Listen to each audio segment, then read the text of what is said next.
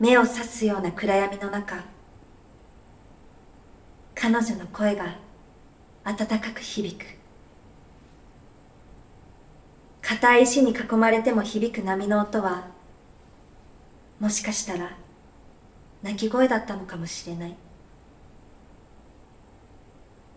今日私はあなたに命のバトンを渡します。青い海が赤く染まり青い空が黒く渦巻くことのないよう二度と黒い雨が降ったり屍で川が埋まることのないよう人が人で亡くなることがないよう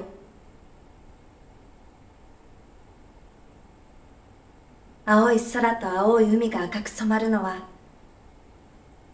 太陽が昇る時と沈む時だけ。その繰り返しの時間の中であなたが愛する人の笑顔を笑顔で見つめ続けることができるようあなたに命のバトンを渡します。そして今日からはあなたが命のバトンを渡す番。青い空と青い海の間で世界中の子供たちが笑顔になる日のために。